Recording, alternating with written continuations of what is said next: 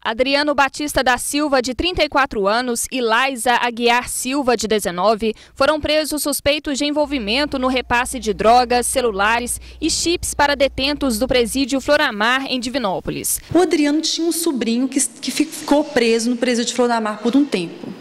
Acreditamos, dele visitado o sobrinho, ele conversou com o Lucas e assim começaram esses atos ilícitos. De acordo com a Polícia Civil, Adriano atuava em parceria com o agente penitenciário Lucas Martins de Melo Santos, de 26 anos, que entregava os materiais para os presos. Através do nosso setor de inteligência, nós conseguimos, né, ontem, na parte meio-dia mais ou menos, é, flagrar o Adriano recebendo a quantia de dois mil reais da Laisa, no bairro Niterói.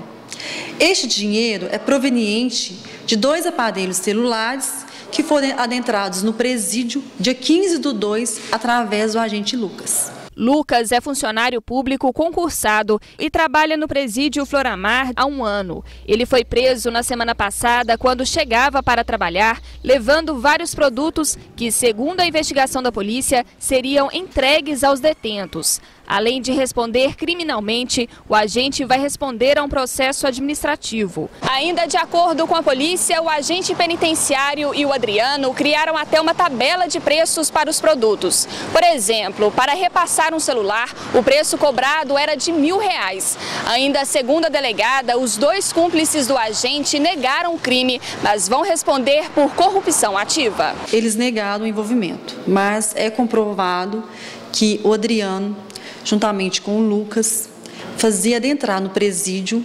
entorpecentes e aparelhos celulares. A polícia acredita que mais pessoas estão envolvidas no crime. A Polícia Civil de Divinópolis agradece a colaboração e pede à população, se tiver algum conhecimento desse crime, né, desses crimes que já vêm há algum tempo, pode vir na delegacia ou mesmo através do Disque 181.